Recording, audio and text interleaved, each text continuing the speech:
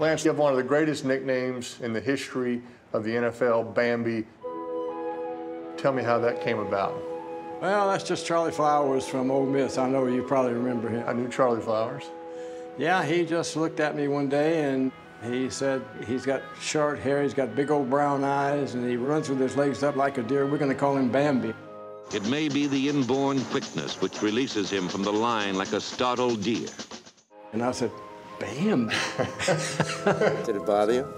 Uh, it didn't really bother me, but it wasn't one that was, uh, you know, it wasn't that masculine to me. I mean, it's just, I didn't like it. You didn't like it? I said if I be quiet, it'll go away. and it didn't, of course, and it stuck.